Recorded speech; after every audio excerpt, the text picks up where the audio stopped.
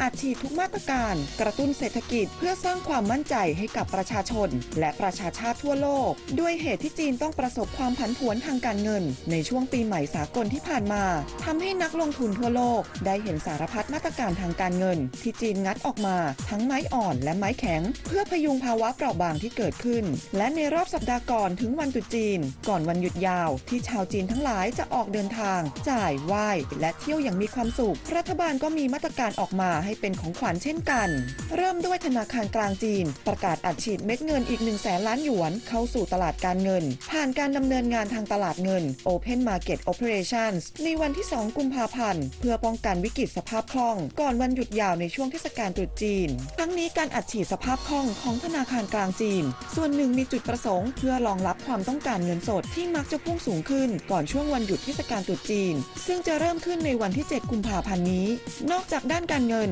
รัฐบาลจีนประกาศลดเงินดาวน์ขั้นต่ำสำหรับผู้ซื้อบ้านในเมืองต่างๆ โดยมีเป้าหมายเพื่อกระตุ้นตลาดอสังหาริมทรัพย์เช่นกัน ซึ่งถือเป็นมาตรการที่ตรงข้ามอย่างสิ้นเชิงกับปีก่อนหน้า ที่มีมาตรการส่วนใหญ่นั้น เป็นการชะลอความร้อนแรงของตลาดอสังหาริมทรัพย์ในประเทศ หากพิจารณาดูความเข้มแข็งของเศรษฐกิจจีน พบว่ายังไม่เป็นที่น่าพอใจนัก เพราะล่าสุดสหพันธ์พาธิการ และการจัดซื้อของจีน เปิดเผยว่าธุรกิจโลจิสติกของจีน ยังคงขยายตัวในเดือนมกราคมแม้เทศกาลตรุษจีนที่กำลังจะถึงนี้ จะส่งผลกระทบต่อกิจกรรมทางธุรกิจ ดัชนีภาวะธุรกิจโลจิสติก อยู่ที่ 53.3 ในเดือนมกราคม ลดลง 1.7 จุด จากเดือนก่อนหน้านั้น แต่ยังคงเหนือระดับ 50 จุด ทั้งนี้ระดับที่สูงกว่า 50 นั้น บ่งชี้ถึงการขยายตัว ส่วนระดับต่ำกว่า 50 บ่งชี้ถึงการหดตัว ซึ่งแม้ตัวเลขนี้จะไม่ได้ถือว่าแย่นัก แต่ก็ทำให้เกิดความกังวล ยังเป็นม่านหมอกหนาในจีน และแน่นอนว่าปีลิงนี้จะยังเป็นปีที่ท้าทาย เป็นงานหนักที่จีนไม่อาจมองข้ามได้เช่นกัน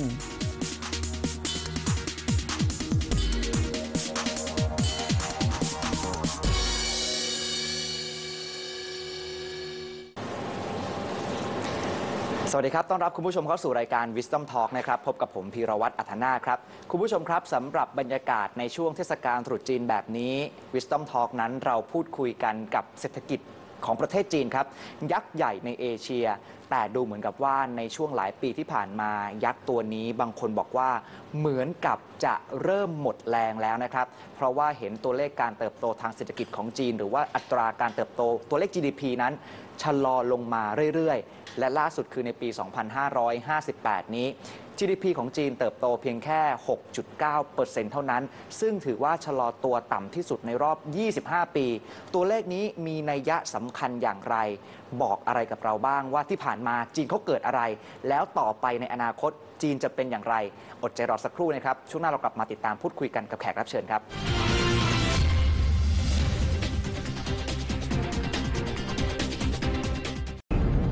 Wisdom Talk ในช่วงนี้นะครับคุณผู้ชมเราพูดคุยกันกับผู้อำนวยการส่วนการวิเคราะห์เสถียรภาพเศรษฐกิจสำนักนโยบายเศรษฐกิจมหาภาคสำนักงานเศรษฐกิจการคลังหรือว่าสสคนะครับ ดรสอนพลตุลยเสถียรครับ ดรสวัสดีครับ ครับ สวัสดีครับ ดรถ้าพูดถึงจีนที่ผ่านมาเศรษฐกิจของจีนเกิดอะไรขึ้นครับ ครับอ่าเศรษฐกิจจีนเนี่ยก็บอกว่าเป็นเศรษฐกิจที่สำคัญของโลกนะครับอ่ามีขนาดเศรษฐกิจที่ใหญ่นะครับอาตอนนี้ก็เป็นผู้ส่งออกอันดับต้นๆของโลกแล้วนะครับอ่าที่ผ่านมาเนี่ยคนให้ความสำคัญกับเศรษฐกิจจีนมาก เพราะว่าอ่าประเทศต่างๆเนี่ยมีความเชื่อมโยงกับเศรษฐกิจจีนค่อนข้างสูงนะคครัรับบเพราะฉะนั้นเนี่ยเวลามีข่าวนะครับหรือมีทิศทางแนวโน้มที่เศรษฐกิจจีนเนี่ยจะชะลอลงอ่าคนก็จะเริ่มใส่ใจครับเวลามีข่าวเรื่องค่าเงินหยวนแกว่งอืมหรือเรื่องของตลาดหุ้นจีนอ่าซุดครับคนก็จะให้ความสนใจเป็นพิเศษนะครับอืมช่วงที่ผ่านมาเกิดอะไรขึ้น ช่วงที่ผ่านมาเนี่ยสิ่งที่เกิดขึ้นก็คือว่ายักษ์ใหญ่ตัวนี้เนี่ยก็เริ่มเอ่อจะหลับนะครับอ่าครับมันมีหลายปัจจัยครับ เพราะว่าถ้าเรามองภาพยาวๆเนี่ยเราจะเห็นว่าเศรษฐกิจจีนเนี่ยขยายตัวแต่เดิมเนี่ยด้วยวิธีหนึ่งครับแต่ปัจจุบันเนี่ยวิธีนั้นเนี่ย มันอาจจะไม่เวิร์กแล้ว วิธีเดิมของเขาคืออะไรครับครับ ดร อ่าแต่เดิมเนี่ยจีนเนี่ยขยายตัวโดยการที่เขาเริ่มเปิดประเทศนะครับอืมคือจีนเนี่ยเป็นประเทศที่อ่าปิดมานานครับ นะครับเริ่มเข้า WTO ตอนปี 2001อ่ามีการเปิดประเทศ มีการค้าขายมากขึ้น มีการเปิดให้ต่างชาติเข้ามาลงทุนมากขึ้น พวกนี้ครับเป็นหนึ่งในแรงผลักดันทำให้เขาโตครับ นะครับ ที่ผ่านมาเนี่ยการใช้กำลังแรงงานของจีนเนี่ยยังไม่มีประสิทธิภาพมาก มีแรงงานจำนวนมากที่ยังไม่ถูกเข้ามาใช้เพื่อให้เกิดการผลิตที่แท้จริงนะครับแต่ต่อมาเนี่ยมีการทำให้คนจีนที่แต่เดิมอยู่ในชนบท เข้ามาทำงานอ่าในเมืองจีนเนี่ยปรับภาพตัวเองในช่วงที่ผ่านมาอ่าเป็นผู้ผลิตของโลกครับเป็นอ่าโรงงานของโลก เพราะฉะนั้นเนี่ยเขาก็เริ่มใช้รายงานมีประสิทธิภาพมากขึ้น อันนี้ก็เป็นอีกปัจจัยหนึ่งที่ทำให้จีนเนี่ยโตค่อนข้างเร็วครับครับปัจจัยที่ 3 ก็คือว่าตอนช่วงที่จีนกำลังโตตอนนั้นเนี่ย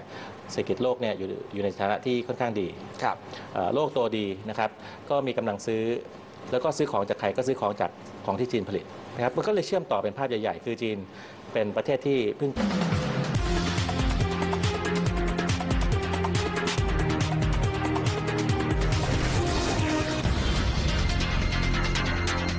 ว่าโฆษก